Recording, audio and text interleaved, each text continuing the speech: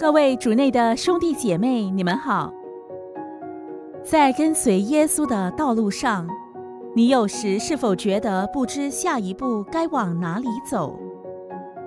让今天四月三十日的每日圣言陪伴您祈祷与反思。信赖我。现在，让我们静下心来，聆听这一段圣言。若望福音第十四章第一至六节。那时候，耶稣说：“你们心里不要烦乱，你们要信赖天主，也要信赖我。在我父的家里有许多住处，我去原是为给你们预备地方。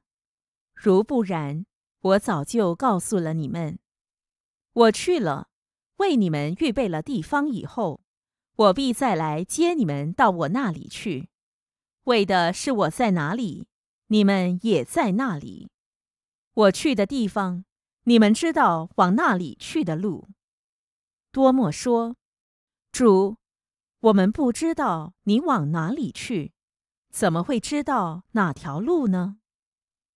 耶稣回答说：“我是道路。”真理、生命，除非经过我，谁也不能到父那里去。感谢天主给我们的这一段圣言。接下来，让我们听一听释经小帮手。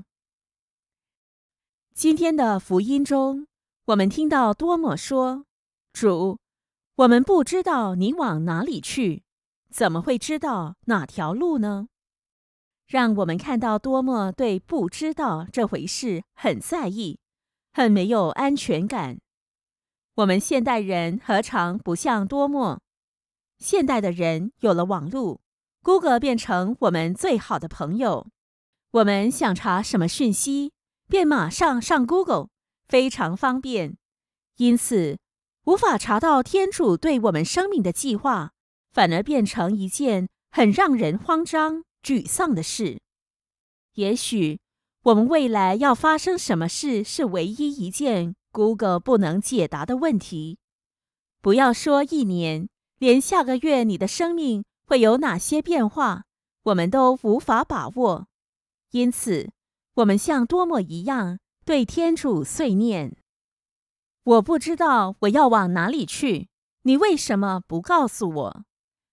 对未来的不确定。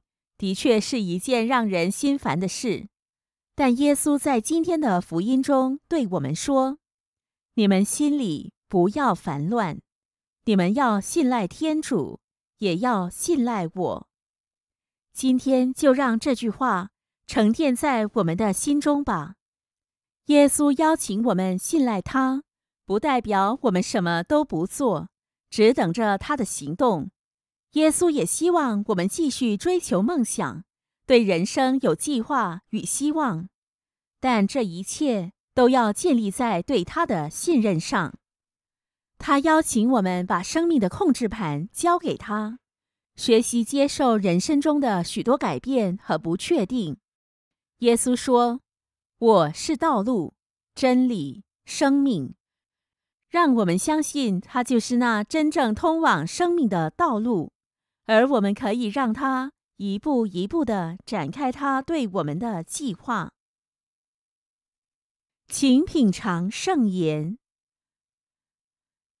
莫想耶稣告诉你，不要害怕，我知道你通往幸福的道路，也在我们生活中活出圣言。今天。耶稣在哪个方面邀请你依赖他？最后，让我们全心祈祷：耶稣，你是道路、真理和生命，请帮助我全心相信你。阿门。这每日圣言祈祷。是来自台湾主言传教会。愿天主降福你。也愿我们都信赖耶稣，已经走在幸福的道路上。我们明天再见。